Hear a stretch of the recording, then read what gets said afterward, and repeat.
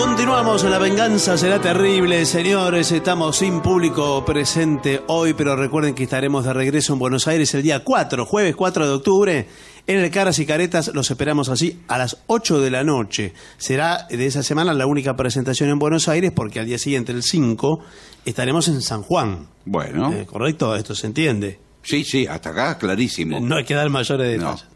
Señoras, señores, este es el mejor momento para dar comienzo al siguiente segmento. Cuidado porque cambiaron las reglas de buena educación en los restaurantes. ¿Otra vez? Otra vez. No, pero- Y nosotros que estamos Sí. detrás de ellas vamos a comunicárselas a nuestros oyentes para no queden, para que no, no, no queden mal delante de Claro, sus amigos, para que no metan la pata No, en el aparte hay un restaurante. montón de gente del restaurante mirando también. Eh, eh, Por ejemplo, ¿cómo indicar al camarero que has terminado el plato? No se sabe.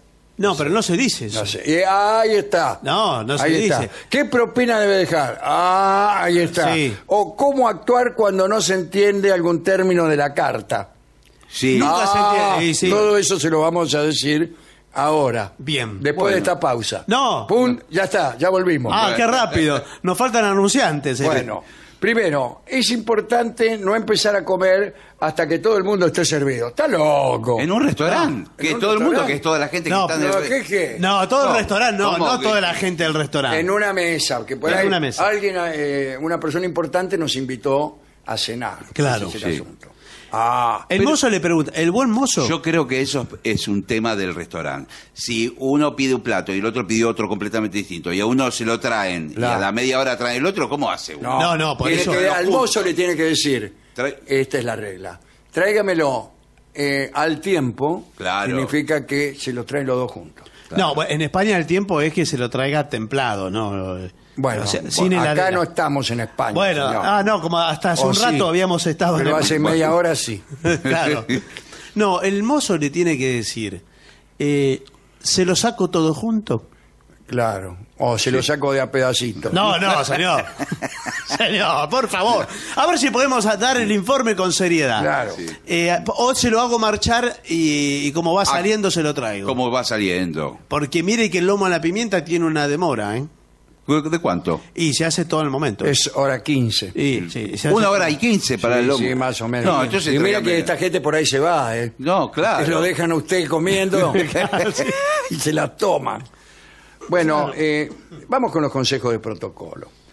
El primero en llegar al restaurante tiene que ser el anfitrión, o sea, el que invita. Sí. ¿Por qué? Y porque Sí, eso sí. queda ¿Y bien. qué hace si uno llega y, to- y todavía no llegó el tipo? Se las toma y se hace el otario.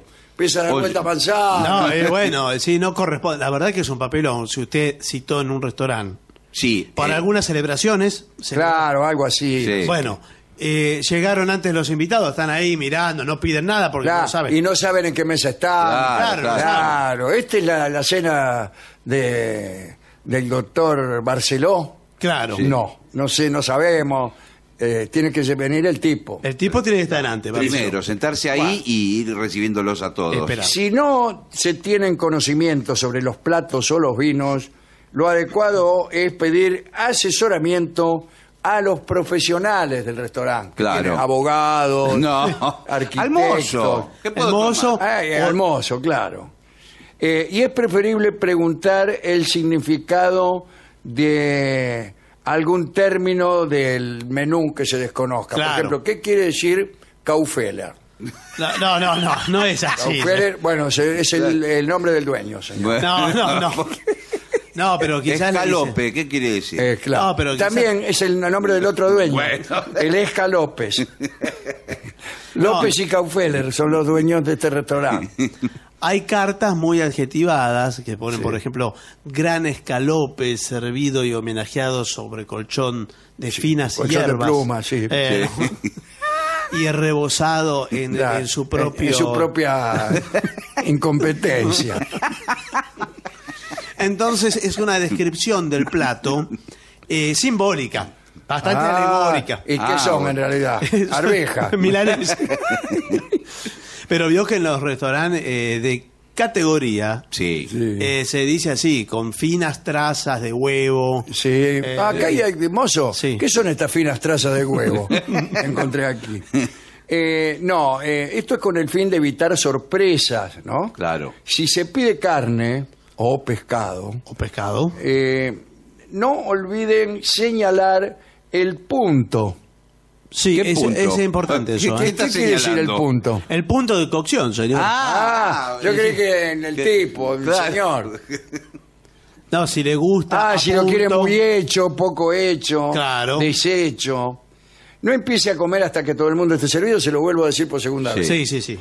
Pero se lo vuelvo a decir una Bueno. vez más, otra vez de nuevo. Bueno, Está bien. ¿puedo comer pan, aunque sea de la No, panera? ah, eso no, no, lo no, sé. no, eso es Bueno, una. Y eso si es- se lo traen, porque por ahí todavía no le traen el pan. ¿Usted qué hace con el pan? Esto es casi un examen lo que le voy Yo a lo decir. como. Lo que le voy a preguntar define de aquí en más la reputación que yo tenga de usted. Bueno, no hay ningún problema. Tengan cuidado. ¿eh? Usted tiene la panera, tiene el pan, va a comer un pan. Sí. Describa el proceso que realiza. Agarro el pan, lo corto con la mano, ¿Sí?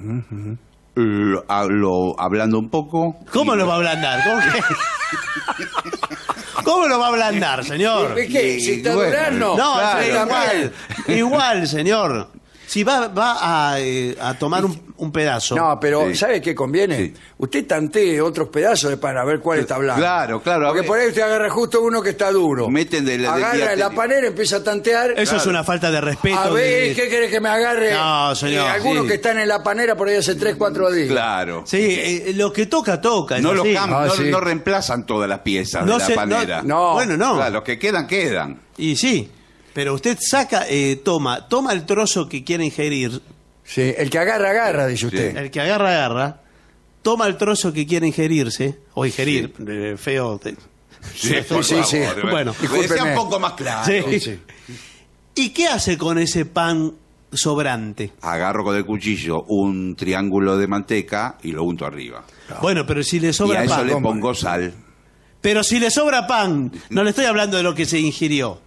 Usted ya se comió el trozo. Vuelve la panera. el ¡No, Eh, señor! claro. ¿Qué vamos a desperdiciar? No, ¿Qué hago? ¿Lo tiro? no, no lo tira, ¿Que señor. me lo como sin ganas? No, ese queda a ¿Qué un- quiere que haga? Queda a un costado del plato o en un platillo que si es un buen restaurante. Un platillo. Ah, sí, le pido al mozo, deme un platito para, para este pedacito de pan. que Sí, tengo. bueno, sí, que le sirven eso el platillo. señor. Bueno, eh, el- sin embargo acá lo que dice es, el pan de cada comensal es el que está situado al lado izquierdo. ¿No vio lo ¿Cómo que no hay panera?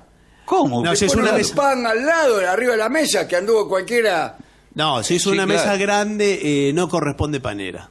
No corresponde. ¿En Ah, serio? sí, por ¿Qué regla. tienen un pan por cabeza? Así como... Es, un- es un ¿Qué pan. es esta? La cárcel, está señor. No, bueno, no, señor. Está racionado. Eh, además no es un pan por cabeza, es un panecillo con finas hierbas. ¿Qué fina hierba? Ay, que, eh. Que si, si lo deja, el Sa- tiempo anterior lo de me lo encaja a mí. No, bueno, no, Está más señor. manoseado que la falsa moneda. No, este, señor, saborizado con orégano. No o- me importa, señor. de rastros de tomillo. Al terminar el plato, los cubiertos se dejarán en el centro del mismo y juntos en posición vertical. ¿Cómo hace? ¿Me caen? No.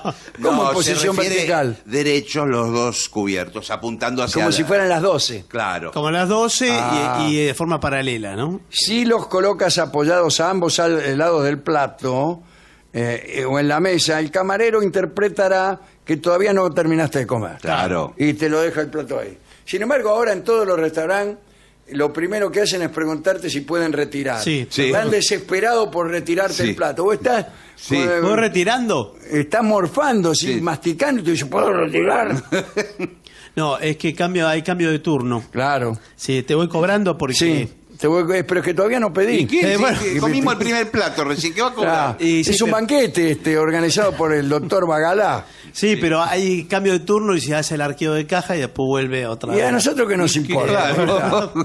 vuelve otra vez la ropa. Bueno, si el adorno de la mesa molesta, tiralo. No, Sí, no. Ya, agarrá y revolealo, tiralo al demonio. Esto, esto, ¿qué son estos muérdagos con Claro, esta bola Sí, de colores? Es, es una decoración. Una Una vela. decoración que es esta, la Eh, bella eh. durmiente del bosque. No, señor, por favor. Tiene es, espina la- las hojas estas. es una decoración que indica de algún modo. Este es una piedra, ¿qué, ¿Qué? hago con una ¿Qué nos piedra? dice? Que la Sea- Navidad. No, nos dice, seamos bienvenidos.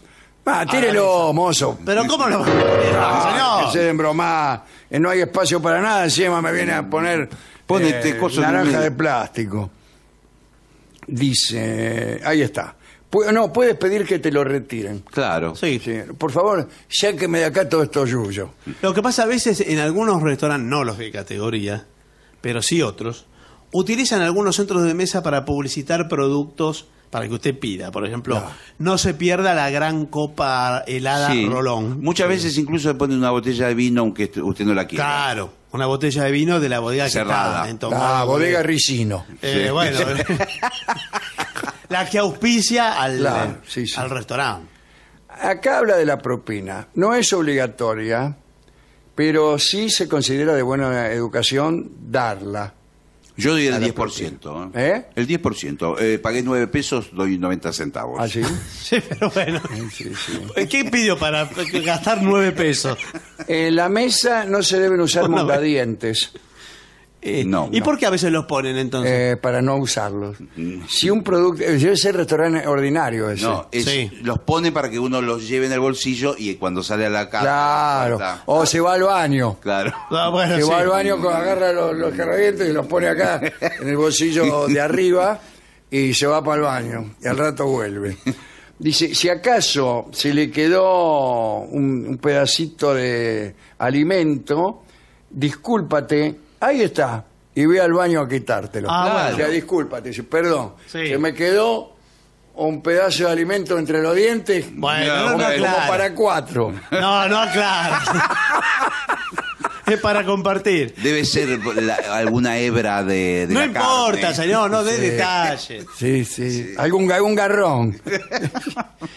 Tampoco es correcto eh, beber ningún líquido mientras se tenga todavía comida en la boca. Y a mí Algunos- me gusta para enfriar un poco. Claro, a veces que está muy caliente, eh, te metes un poco de líquido y... No, hay mucha gente que es verdad que para que, si no le gusta el plato, Ah, sí. para no quedar mal, lo Claro. va Claro, se lo toma como quien se toma. Se toma Sí. un, un vaso de agua por Claro. cada Sí. bocado. Claro. Eh, no utilices el mantel para limpiar los cubiertos. No, No, por No, supuesto. para eso está La servilleta. La servilleta. Pero no limpia los cubiertos. No, señor. tampoco, la servilleta Eso- también. No, están limpios los Yo le cubiertos. pego una tampoco para limpiarte la, la boca, lo del mantel. No. No, no. Agarra el mantel. No. Es una falta de educación, además, limpiar los cubiertos, sobre todo la gente que tira su aliento, que hace. Claro, para sí. que darle más brillo. Claro, y ¿cómo? después le da brillo. Sí, No, sí. Yo miro las copas al trasluz porque tiene que estar perfectamente limpio. Sí, Bueno, yo también. sí, señor, pero- Y vacías. Sí. Eh, bueno, cuando sí. te las traen. Sí. Mirá si tiene todavía resto. Un poquito. De, de- de poner eh, de naranja bis. Es que esa naranja tiñe el vaso ya. No, a veces en los lugares que tienen mucha clientela traen apenas con, como si estuvieran recién lavados con la espumita del... ¿Del detergente? Del detergente. Eh, sí. bueno, tampoco hagas demasiado ruido con la cucharita del café. No, al claro. remover, bla, bla, bla. Ni tampoco pruebes la comida de los otros comensales. Eh, y menos eh, agarrando un cacho con el tenedor y llevándolo por el señor. frente de otros comensales. Sí, bueno. Probando, Ahí se no. cae un gnocchi. No. Es un asco, A señor. mí me pasa con mis hijos eso. Que, ¿Qué le pasa? Que comen poco y yo tengo termino comiendo los platos. Claro, dame, bueno, que, no. dame que lo termino yo. Claro. Esto no se hace ni con los hijos ni con otros comersa- eh, comensales. Y bueno, Por ejemplo, eh, doctor Bacari, deme Sí. que lo termino yo. No, Deme los obucos que lo termino yo, doctor Bacari, que es una picardía. no dice nada. queda doctor ahí. Bacari. Queda ahí, señor, lo del doctor Bacari y lo del doctor Bacari. Eh, bueno, la comida dice te la surten por el lado izquierdo. Ah, te la sirven. Ah. Sí. Por el lado izquierdo de- de- y te la retiran por la derecha. Qué raro, ¿no? Ah, sí. Nunca había oído eso. Eh, Lo mismo que cuando quieren servir eh, vino o algo Ah, ¿por dónde se sirve el vino? por el lado izquierdo. Por el lado izquierdo siempre. Es de mala educación a la hora de garpar, Sí. este, sacar la calculadora y ponerse a hacer la cuenta. No, no, señor. Generalmente uno tiene que decir... Y menos pelearse con otro que también quiere pagar. Eh, Sí. Por favor, cobre acá, mozo. No, no, no, No. a mí, a mí. Me cobre, cobre ¿A quién le cobro, perdón? Eh, a mí, por favor. Bueno, no, No, no, no, no. Eh, eh, No, no, no, no, doctor Bacari. Voy a Eh, pagar yo. Está bien, escúcheme. Voy- sí. Le pido, por favor, eh, yo invito, yo soy un habitual de la Bacari, casa. es que Bueno. quiero tener una atención con usted. No, bueno, bueno, bueno. Pero, deme ese, eh, pero concédame atención- ese placer, No, doctor no, Bacari. pero no es conceder placer. No hay nada que me guste más. Me cobra a mí, por favor. Aquí- No, no, no. tengo ningún problema. Doctor. Bacari, eh, perdón, ¿cuánto No, es? No, le pido, por favor. ¿Cuánto- cuánto es? ¿Cuánto es? 2.150 pesos. Eh, está bien, pague usted. No, está bien, está bien. Por No, esta está vez- bien, está bien. eh, eh, No, pague Y usted. tomaron dos No, botellas de vino, sí, 2.150 Eh, eh, pesos. pague usted. No se prive usted de- Eh, no, de no, no, no lo voy a privar de No, esa. por sí. favor, eh, Pague, doctor es- es Bacari. usted. No tengo plata. La verdad, Consejos para comer en un restaurante. Sí. Consejos de expertos. ¿Sabe cuál es el mejor día para comer eh, fuera de casa? Para Eh, mí, eh, el domingo. No, está lleno de gente el domingo. Ah, en los lugares. Acá dice el martes. El martes sí, lo que sería el día Dice, de menos movimiento. Las cosas buenas llegan los martes. El marisco y el pescado están frescos. La oferta de comida preparada es nueva y el chef está relajado después de su día libre, que es el lunes. ¿Qué es peluquero? Ah, mirá vos. Así que hay que ir los martes. Muy bien, ¿eh? Bueno, Ese es un buen consejo. Pero justo laburo el martes. El- yo puedo el sábado o el domingo. Y bueno, no coma importa, cosas podridas, señor. señor. Venga el sábado el domingo, come podrido. Eh, pedir un, un bife bien hecho, bien cocido, Sí. tiene riesgos, porque eh, bien cocida pone la carne peor que tienen. Claro, le dan una calentada. Le dan Una calentada Claro. y eh, carne ya vieja. Bueno, pero. Así- igual- sí, señor. Pero Pérez, si no le dije Lo- nada. eh, Él es- lo único, lo mismo que si uno pide una parrillada surtida, puede haber piezas dentro de la parrillada que ya fueron cocinadas. Sí, antes. bueno, sí, la parrillada no se pide nunca, señor. Después, eh, evite los restaurantes con fotos de la comida. Sí, hay mucho. Y lo peor, ¿sabe qué es? Eh, peor que las fotos de la comida, los restaurantes con maqueta de la comida. Ah, peor. Como hay en el microcentro. En, en Sí. tres dimensiones. En tres dimensiones que es pintado como de Como cerámica. Un bife de, de plástico, no sé, que a mí me da asco. Es muy difícil. Me parece que es un, es un bife verdaderamente, pero que está petrificado. Sí. O algo. Le pasaron como un barniz arriba Sí. y está el, el huevo frito se, se tolera esa situación. Sí, pero unas com- hay comidas que no. No, usted, usted una milanesa. No, Una no, milanesa no, no. es un- Después, no se haga problema con los baños sucios. ¿Cómo no se haga problema? Según los expertos, un baño sucio es una señal ¿De qué? eh, De buena, errónea. lo contrario de lo que se piensa. Eh, las mejores experiencias culinarias ¿Cómo? suelen ocurrir en restaurantes que tienen el baño sucio. ¿De No me pregunte Eh, por qué. pero escúcheme, mire que lo vi salir al cocinero recién del baño. Eh, ellos saben que su comida es buena. Sí, Y, y, entonces, descuida al otro. si, si quieren ir al baño, no nos importa. Si, el ba- si- si el baño está así, es que la comida es buena. Miren que para llegar a esa Y el conclusión... último consejo es que la comida de los aviones no tiene salvación. Bueno, eso no Claro. es un consejo. Sí, ya, Pero bueno, pero Eso es que ya es una no, opinión. no, no. No Ahora- hay- o sea, no le diga nada. Claro, no hay mucho que puedan hacer. Claro. No. No, le puede decir, Me- esto de lo quiere un poco más cocido. No, No, salvo, salvo en los aviones que tienen los baños sucios. claro. Ahí sí. Y sí, ahí sí, compañías con baños sucios, Sí. ahí hay comida polenta, Sí. polenta, polenta. Sí, por en favor. realidad es polenta. Pausa.